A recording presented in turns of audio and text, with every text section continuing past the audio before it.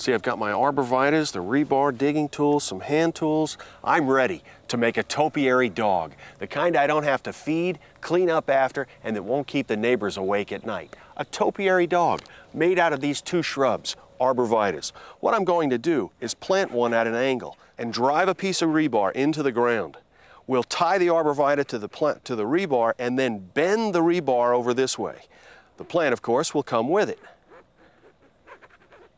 Then we'll plant another arborvitae, again at a bit of an angle, drive another piece of rebar into the ground, tie that arborvitae to it, bend it this way, and bend it again this way. Our plant, of course, will go with it, and we will eventually form what looks like a dog, or at least an animal. It could be any kind of an animal. I'm a dog lover, so it's going to be a dog. The first step is to plant the back legs. The tendency when you dig a hole with a round pointed shovel like this one is to have a smooth sided hole.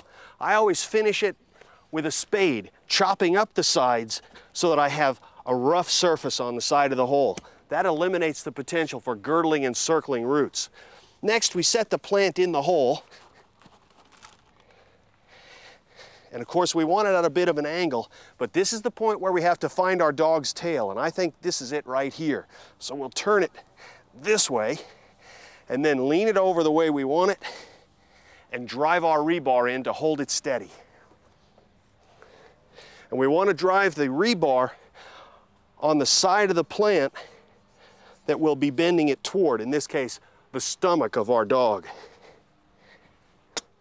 We want to drive it down into solid ground underneath the potting soil, so it's got to go in quite a ways.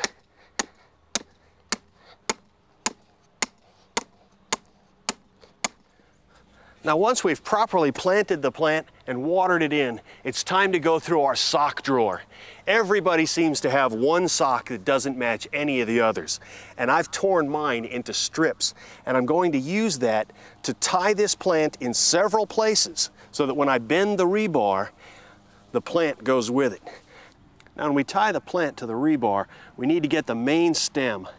And we need to tie it in such a way that it doesn't girdle the plant. That's one of the reasons we're using a sock. It'll stretch as the plant grows. Now, once we've got the plant tied in several places to the rebar, it's time to bend it. This may take a little muscle, and we want to bend it down fairly low because the plant's kind of short. We've got the rebar on my left, it's over here, so as we bend it, it'll pull the arborvitae with it.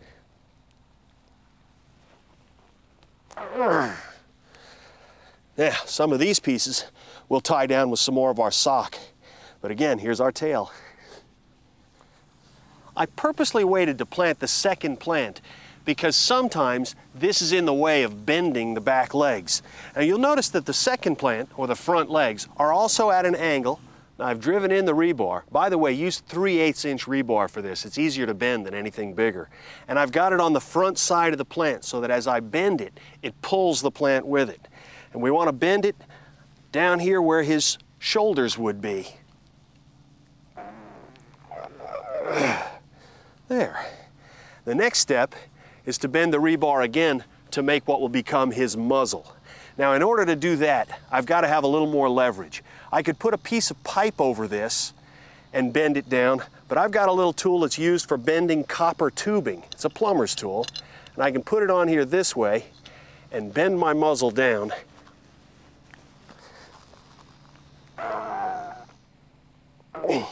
There, he's starting to look like a dog.